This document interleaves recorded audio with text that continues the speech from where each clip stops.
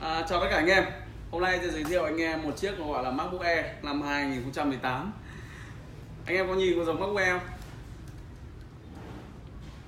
Thực ra mình nói chơi nói trêu mọi người một chút thôi. Thực ra những cái phiên bản MacBook Air thì hay là bất kỳ phiên bản mới của 2018 thì Apple chưa chính thức ra mắt. Đây là một sản phẩm do người Trung Quốc họ làm nhái. Mình cũng không thể tin được sau nhiều năm một cái máy như này Nếu mà tại à, Trung Quốc giá bán của nó chỉ khoảng 5 triệu đồng mà nó làm được như này và đó là công nghệ của họ sản xuất nhái càng ngày càng tỉ mỉ. Và nếu mà nói thực tế thì mình test máy chạy tương đối nhanh và vỏ làm bằng lớp hợp kim khá cao cấp. Đây anh em nhìn này gập vào. Đây. Và nếu mà nhìn kỹ một chút chúng ta nhìn đây thì logo mình nhìn thấy rất lạ chả biết của hãng gì luôn. Nhưng mà nếu mà đặt trên bàn và nhìn cái mặt trước thì có thể nhìn nó à, la lá hoặc nhái một chút so với chiếc MacBook Air. Nhưng mà nếu mà đặt xuống bàn thì nó sẽ hơi dày một chút.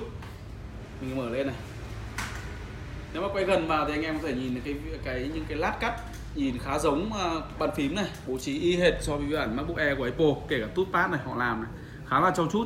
Và những cái vết cắt này nhìn khá tinh tế. Thật không thể tin được một sản phẩm laptop như này ở Trung Quốc thì nó họ chỉ bán đến 5 triệu đồng. Và màn hình thì anh em có thể thấy là trang bị Full HD và ông nhìn khá là led và có tấm nền IPS luôn. Đây, mình giới thiệu anh em cấu hình của nó này con này thì mã máy của nó là A11 computer.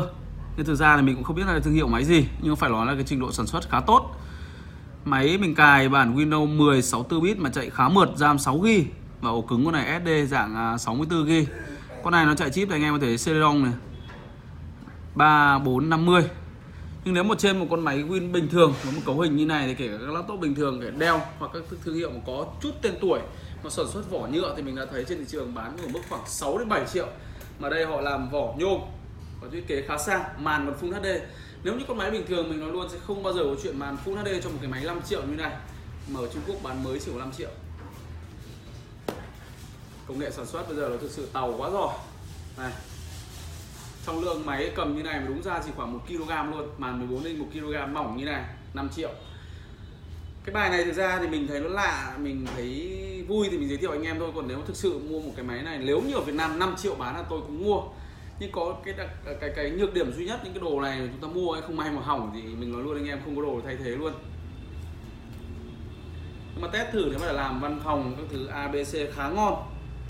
Web chạy ầm ầm màn rất đẹp. Ông nào mà dùng mua về xem phim lướt web trên cái máy này cực ngon luôn. Hôm nay cũng chỉ vô tình một khách hàng mang đây thì mình review đánh giá chơi với anh em thôi còn à, chỉ ước một ngày là Việt Nam mình có khả năng sản xuất được một những chiếc máy như này. Chứ ở Việt Nam mình thấy thực sự thì cái gì cũng thấy giỏi nhưng riêng chỉ máy tính cả điện thoại thì nếu nói thực sự con người chưa làm được chưa sản xuất được kể cả chiếc Bphone anh Quảng cũng có quảng cáo là anh Quảng sản xuất được thì những mà những người dân trong nghề như mình thì mình cũng đoán được nó sản xuất được những cái gì. Đấy, rất giỏi. Ước gì Việt Nam mình học được những cái công nghệ sản xuất như này thì đất nước khá là phát triển. 5 triệu là tôi cũng mua đấy, nói thật 5 triệu tôi review sản phẩm tôi thấy ok là tôi cũng tư vấn và nhập về bán cho anh em đấy.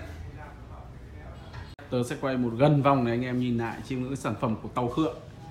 Nói tàu khựa thì có thể là hơi ờ, không tôn trọng họ nhưng phải nói họ rất giỏi. Mình không ngờ một cái máy như này mà anh em nhìn này, cái màn hình nó làm, đúng ra mình quay và mình đánh giá là cực chất luôn. Tấm nền IPS 14 inch Full HD chi tiết gần này anh em nhìn này, sản xuất cực tinh xảo. Mà đúng ra con này mình thấy trang bị đầy đủ cổng luôn mini port với tiếc có hết này. Cùng này là cổng HDMI dạng cắm nhỏ này cắm này là kết nối ra màn hình ngoài này USB 3.0 này. Bên này anh em nhìn nó cũng thêm cổng USB đầu độc thẻ như đúng rồi. Cổng sạc còn cắm ở đây này. Đây, cổng phone này khá ngon. Mở ra mở vào như chắc chắn phết.